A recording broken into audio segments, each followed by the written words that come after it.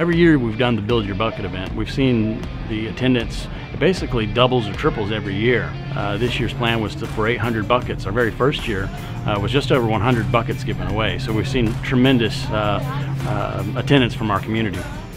One of the things we did this year to improve the experience was to make our Build Your Bucket more of an expo style event. They're getting information information on how to respond and who they can call and how to contact people during an emergency.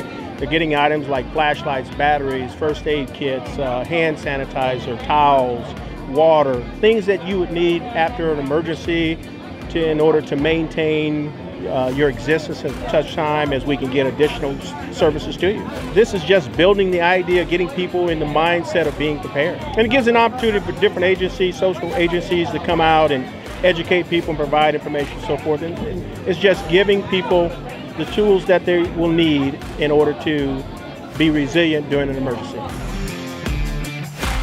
I thought it was an excellent idea that the city and the county are working together because at the end of the day, we all have to work together for the safety of all of our citizens. Actually, I never thought about getting a bucket. You know, I put everything in like plastic bags and things like that, but I never thought to get a bucket. But I think that's an even excellent idea because a bucket at the end of the day, a bucket can float better than a plastic bag.